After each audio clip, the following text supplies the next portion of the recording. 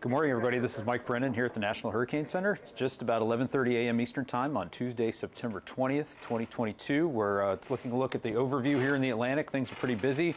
We have Hurricane Fiona, a major hurricane centered just near the Turks and Caicos Islands, uh, continuing to affect those areas, the southeastern Bahamas, with some residual rainfall over Hispaniola and even Puerto Rico.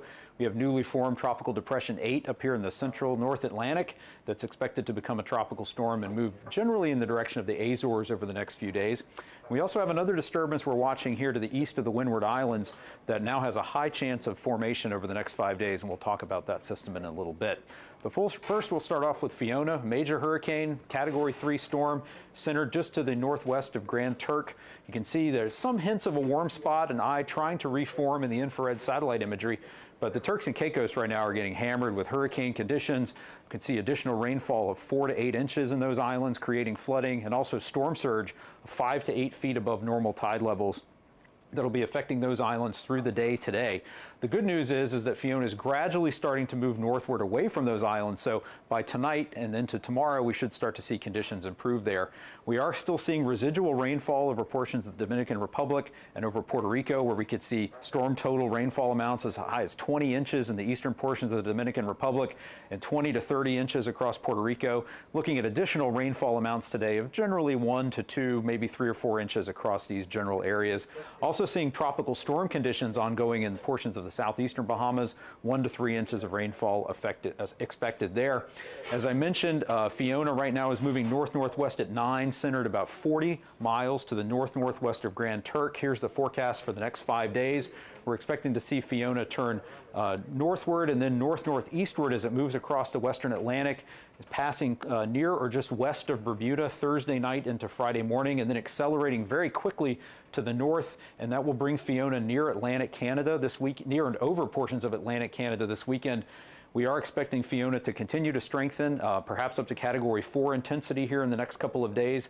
And then as the peak winds decrease a little bit as Fiona moves up here into the, the higher latitudes, the storm's going to grow larger in size. So it's going to be a tremendously large area of impacts in terms of wind, rain, and potentially storm surge in portions of Nova Scotia, Newfoundland, and up into Atlantic Canada this weekend in addition to the potential for impacts on Bermuda as we get later into this week.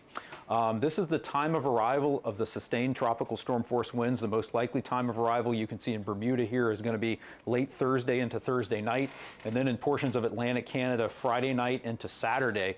And, and these colors are showing the probability of tropical storm force winds is up to about 80% in Bermuda because, again, Fiona is going to be a large hurricane with a big wind field.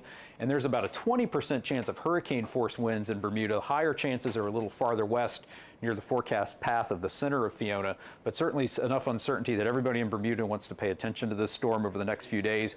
Uh, we could have watches issued for Bermuda as soon as later today or tonight, and rainfall about one to three inches expected in those areas. The uh, impacts for Atlantic Canada will come into better focus later this week, but this is certainly a, a storm you want to pay attention to there. Uh, in terms of rip currents and the marine impacts, this image here on my left is a forecast of the significant wave height field associated with Fiona Valid on Friday. This area of pink here are significant wave heights above 50 feet. So Fiona is going to have a huge wave field that's going to expand and impact much of the western Atlantic basin. And as those waves propagate toward the U.S. East Coast, they're going to result in dangerous surf and rip current conditions. We already have a moderate risk of rip currents in effect from portions of South Florida up through the Carolinas and even into portions of New England.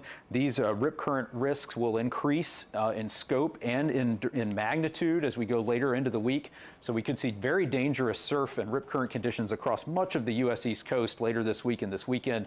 So if you're planning to go to the beach, please check the surf conditions, look for any warning flags, and pay attention to any advice you're given by lifeguards or local officials. We don't want to lose people in the ocean from a storm passing off the U.S. East Coast. Uh, now we'll switch gears to their next system we're watching, the system here to the east of the Windward Islands islands now has a high chance of formation over the next five days. We're expecting it to move across the Windward Islands and into the uh, eastern and central Caribbean Sea. And we, uh, you can see the shower and thunderstorm activity associated with the system has gotten better organized since yesterday. It's moving quickly off to the west at about 15 to 20 miles per hour. And we are expecting a tropical depression to form by the time it gets into the Caribbean Sea. So this is a system that folks in the Windward Islands are going to want to pay attention to in the next couple of days as it moves across them. You could see heavy rainfall, some gusty winds, and everyone everyone in the Caribbean is going to want to pay attention to this system as conditions do appear favorable for this system to go on and develop more as it moves into the Caribbean later this week and this weekend. So that's the latest here at the National Hurricane Center. Please stay tuned for more updates. I'm Mike Brennan.